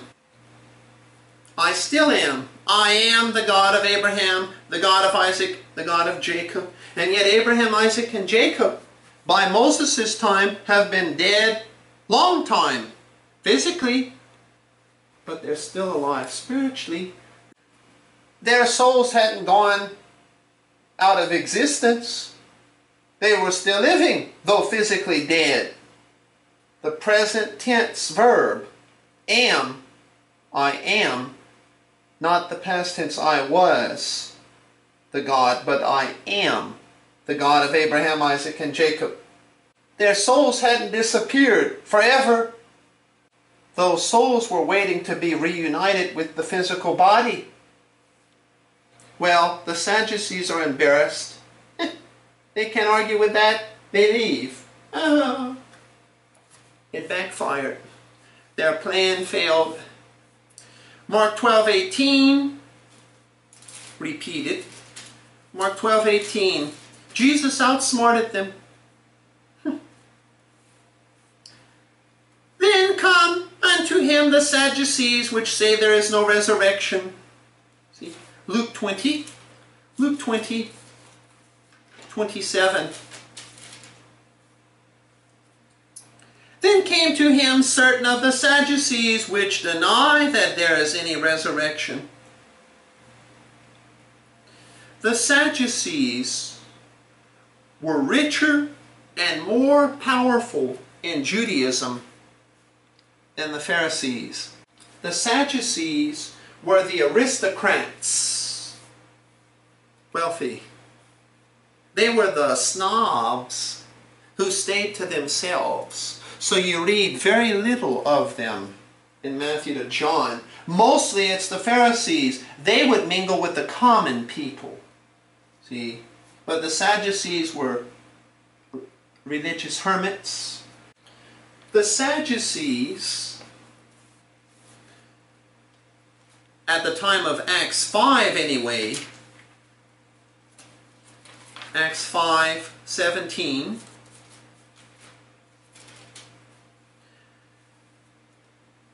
Then the high priest rose up, and all they that were with him, which is the sect of the Sadducees, and were filled with indignation. In Acts 4, verse 1 there, Acts 4 1, the priests, the captain of the temple, and the Sadducees came upon the apostles, being grieved that they taught the people and preached through Jesus the resurrection from the dead. No, there's no such thing as resurrection. The apostles aren't telling the truth. How many church members we've lost because they preach resurrection and we don't preach resurrection. See that? In Matthew 28, it's those chief priests who don't believe in resurrection who devise a scheme to dismiss Jesus' bodily resurrection. It's a body snatching. It's not a resurrection. We can't afford to admit it was a resurrection because our theological system would disintegrate to nothing. Fighting against the truth with every ounce of energy they can muster. It's not an evidence problem, it's a heart problem. They don't want to believe. They could see 50,000 resurrections. And you know what? They say, oh, no, no resurrection. That's a fairy tale. Because they've closed their heart. They don't want to believe. So it doesn't matter what they see or hear. It does not matter what they see or hear.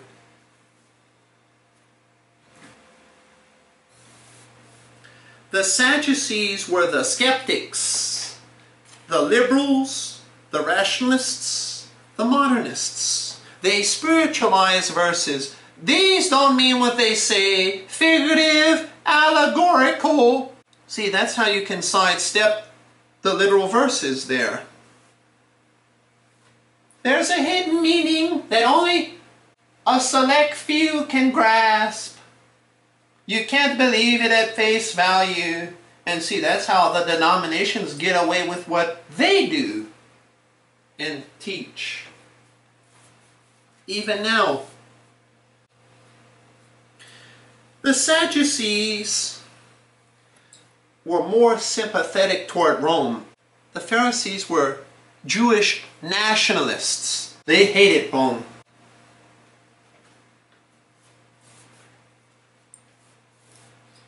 The Sadducees likely formed because of that 400 year period of silence between Malachi and Matthew. Malachi and John the Baptist in Matthew. The famine of the hearing of the words of the Lord, Amos 8 since God had spoken to Israel for so long through angels, prophets, the written word.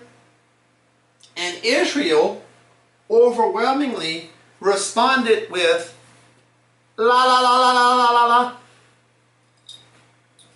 Okay, that's what you want. As the Gentiles in Romans 1, so Israel is blinded now. And God says nothing for 400 years. And that is why there is that gap between Malachi and Matthew. 400 years of silence. That's when the apocryphal books were written, by the way. When God wasn't speaking, God didn't speak the apocryphal books. Mm -hmm. Forgeries. God did not send an angel. He didn't send a prophet. No visions. Nothing. The canon of the Hebrew Bible was closed. And that was it. For 400 years. Well, the Sadducees, and they are the priestly sect, remember? The Sadducees did not see angels or anything supernatural during those 400 years of Malachi to Matthew. Oh, well, there are no such miracles, no supernatural events, no angels, no spirits, no resurrection either. But see, you could look today and argue that and be wrong. Where's the wrath? God doesn't judge sin. I guess he doesn't care about sin. Oh, yes, he does. There's just a change in program. This, not this. See? Today, but now, future, ages to come. Just as God changed his dealings with man, beginning with Paul. After Malachi, God changed his dealings with Israel. No more talking. Shh. I won't talk for 400 years. The 400 years of silence. And John the Baptist comes following the 400 years of silence. If anyone wanted to hear from God prior to John the Baptist, between Malachi and John the Baptist, they better take that Hebrew Bible and read what God had already spoken before he kept quiet.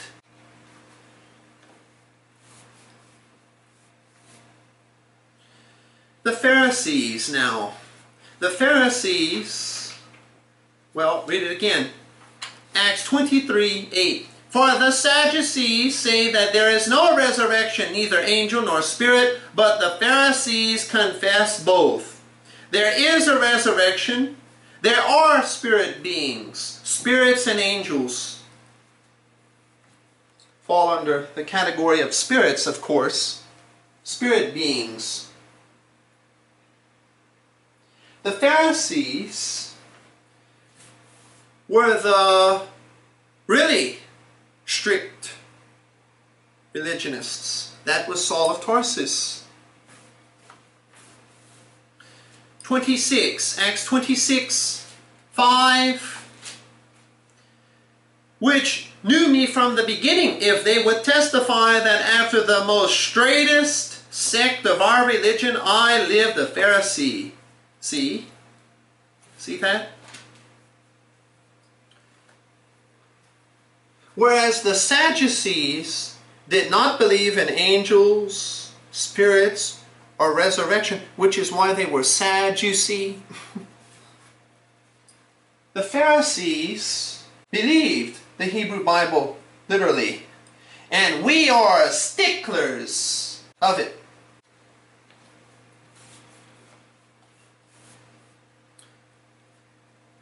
Philippians 3. See, here's Paul again, the Pharisee. Philippians 3. 5. Circumcised the eighth day of the stock of Israel, of the tribe of Benjamin, and Hebrew of the Hebrews, is touching the law a Pharisee, concerning zeal persecuting the church, touching the righteousness which is in the law blameless. The Pharisees were the, what has been called the super separated.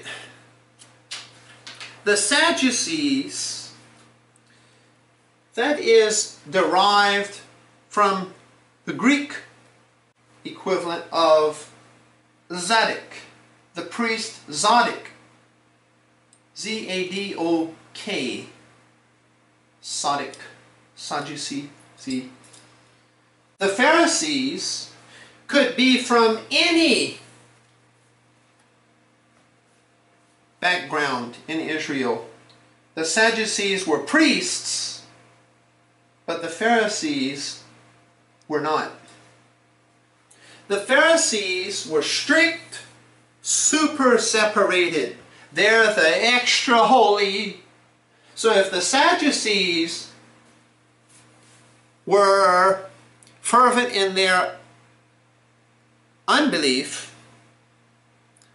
the Pharisees were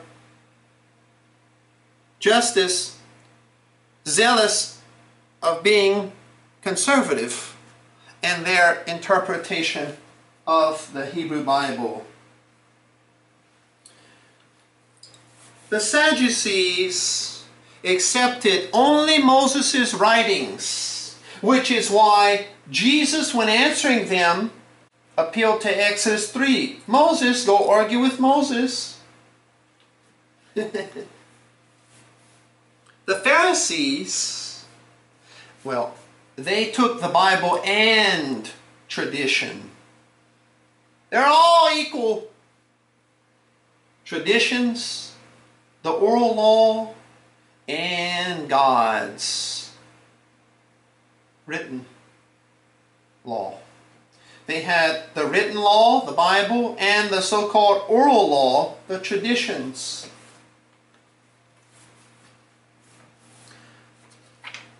The Pharisees. Mark 7. This way. Mark 7, 1. Then came together unto him the Pharisees and certain of the scribes which came from Jerusalem. And when they saw some of his disciples eat bread with defiled, that is to say, with unwashen hands, they found fault. For the Pharisees and all the Jews, except they wash their hands oft, eat not, holding the tradition of the elders. And when they come from the market, except they wash, they eat not, and many other things there be, which they have received to hold as the washing of cups and pots, brazen vessels, and of tables. Then the Pharisees and scribes asked him, the Lord Jesus, Why walk not thy disciples according to the tradition of the elders, but eat bread with unwashen hands? The washing of hands here was not for hygienical purposes. Someone will get food poisoning if we don't wash hands. That's not it. This is for religious reasons. The tradition of the elders was hold your hands with your fingers up. There's a trickle of cool water to run down. And it was three times up and three times down. And if you confuse the order, start again.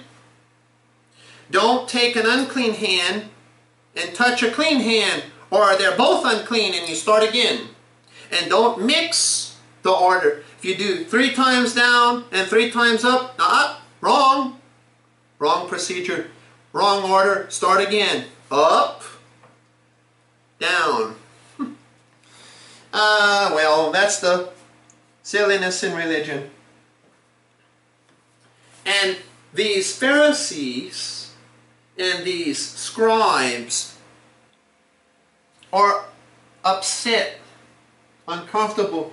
Jesus, why don't your disciples follow the tradition of the elders? All worked up. But you know what does not bother them? What they do, which is far more offensive to God than what those disciples of Jesus did.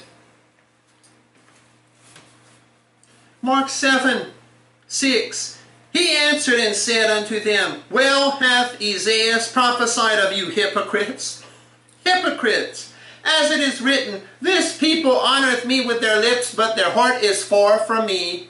Heart problem. Isaiah 29.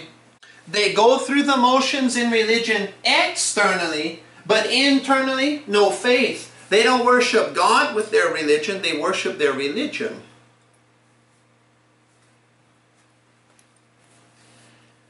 Mark 7 7. Howbeit in vain do they worship me, teaching for doctrines the commandments of men, for laying aside the commandment of God, ye hold the tradition of men, as the washing of pots and cups, and many other such like things ye do. And he said unto them, Full well ye reject the commandment of God, that ye may keep your own tradition. 13. Making the word of God of none effect through your tradition, which ye have delivered, and many such like things do ye. Read the rest of those verses up to, what, 23 there. You are so fearful of dirty hands, but you people have dirty hearts. You know what sends people to hell? Not the dirty hands, but the dirty hearts, the sinful hearts.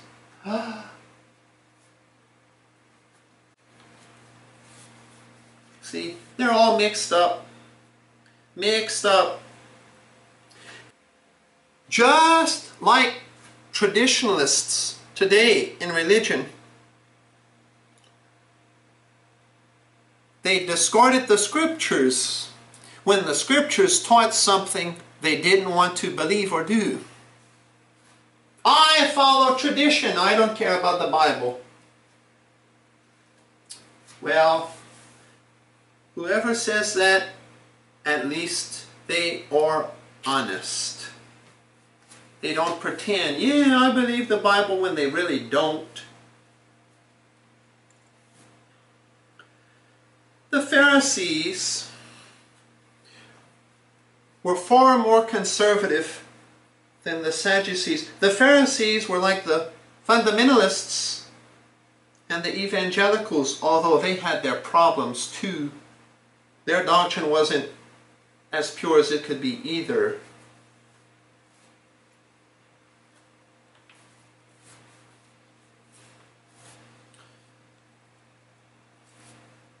Acts 23 9.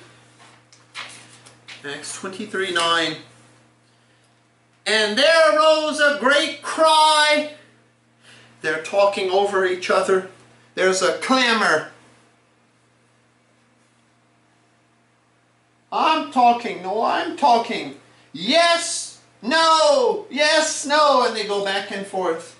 Yes, resurrection. No, resurrection. They're at odds. Great shouting breaks out. Acts 23 9, the scribes of the Pharisees. The scribes that were of the Pharisees, the scribes are the literate men. The literate men in the nation. They can read and write.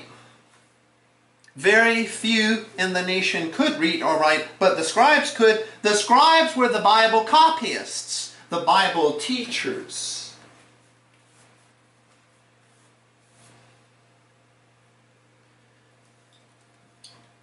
The scribes that were of the Pharisees' part arose, 9, and strove, fighting, saying, We find no evil in this man, but if a spirit or an angel hath spoken to him, let us not fight against God.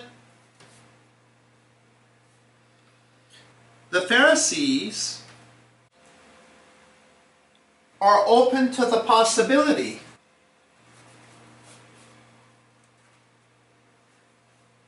an angel or a spirit spoke to Paul. See, they believe in angels and spirits. The Sadducees do not. So the Pharisees, they're willing to ignore Paul supporting Jesus Christ. We don't worry about that.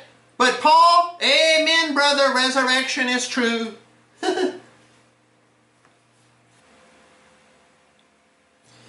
Acts 22, how Paul had conversed with the Lord Jesus there. Acts 22, historically Acts 9. Acts 22, 7, 8, 10, 18, 21. Some of those Pharisees probably heard Paul in Acts 22. Maybe Paul did hear from a spirit or an angel. We give him the benefit of the doubt. Unlike you, Sadducees.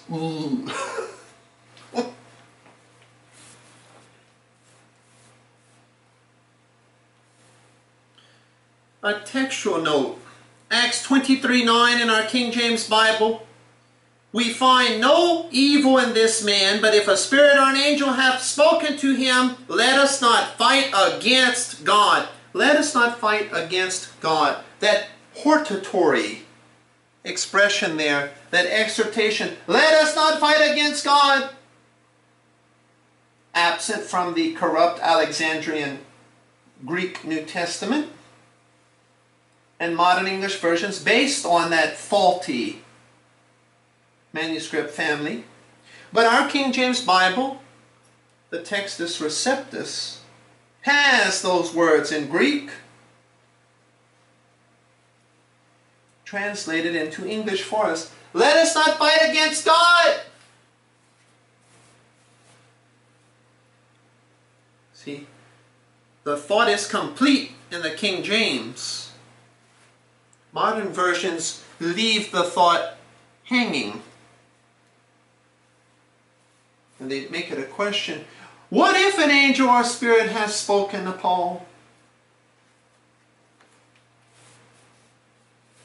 Let us not fight against God. That sounds like Gamaliel, Gamaliel, Paul's mentor, rabbi, teacher there. Acts 5. See? Acts 5, 39. Lest haply ye be found even to fight against God. And that was concerning the Sanhedrin's persecution of Israel's apostles. Now here the Sanhedrin and the Apostle Paul, Acts 23.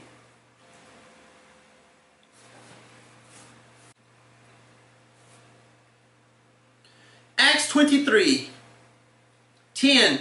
And when there arose a great dissension, they're really getting out of hand now.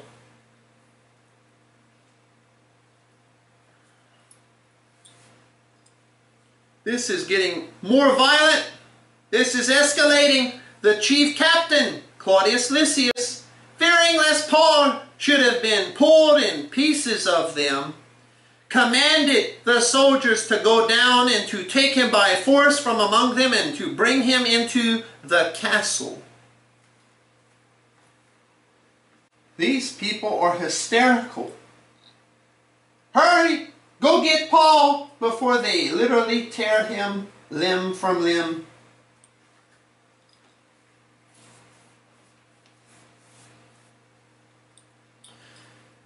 Back to the castle, the stone castle, the stone fortress of Antonia, secure location, and away from the Sanhedrin, belligerent Sanhedrin.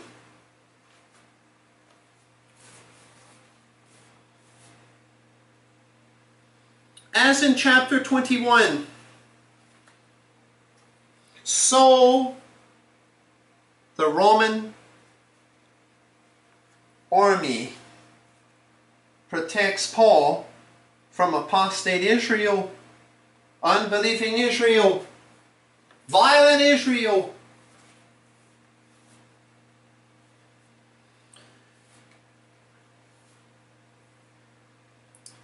Acts 20 3 11. And the night following, the Lord stood by him and said, Be of good cheer, Paul, for as thou hast testified of me in Jerusalem, so must thou bear witness also at Rome. Paul is discouraged that night. Acts 21, problems. Acts 22, problems. Acts 23, problems. In Jerusalem,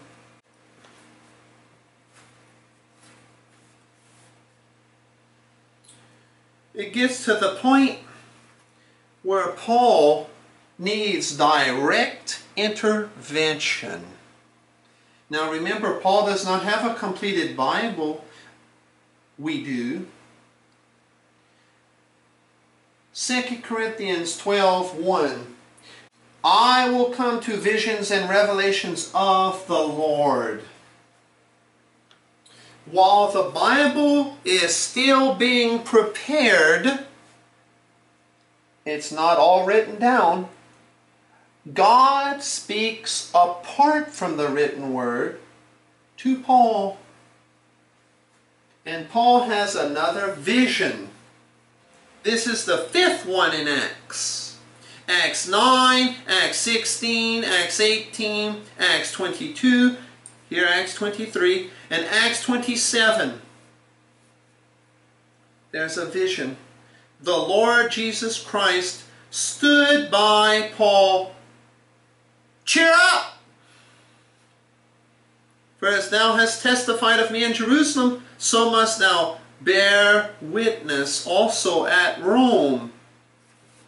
Peter had a vision, Acts 10, Acts 11. Paul has another vision. Paul is Peter's replacement. Prophecy has given way to mystery.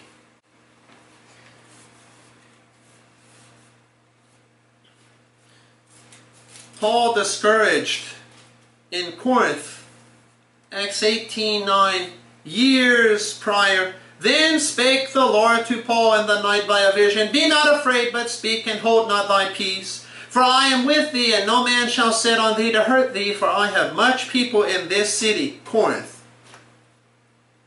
Paul was discouraged, Acts 18. He's discouraged again, Acts 23. There's the Lord. Be encouraged, Paul. You have testified of me in Jerusalem. You've borne record witness of me in Jerusalem testimony. You're going to Rome. And you talk about me over there now. You share me in the Gentile world capital, Rome. Rome. Paul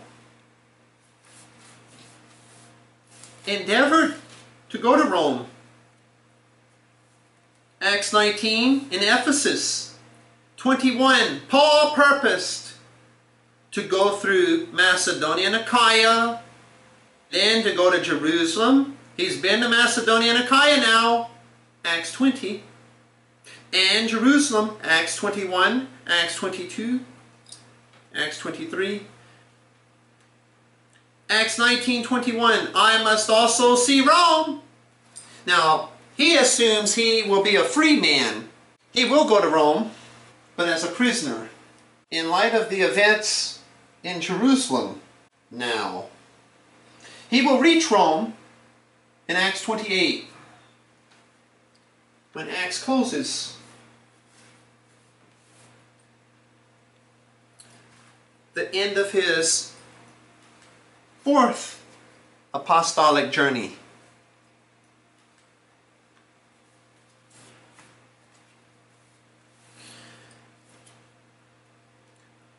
A good place to stop. Two more verses. One more verse. Two more verses. Two. Two.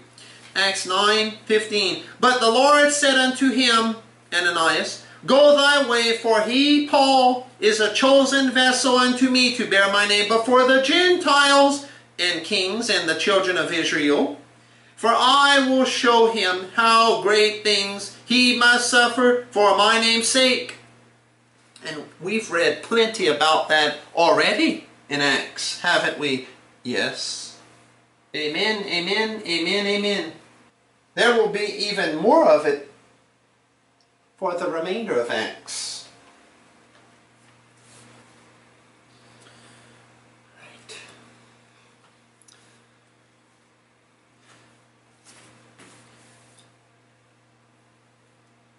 Thank you, dear Father. In the name of Jesus Christ, amen.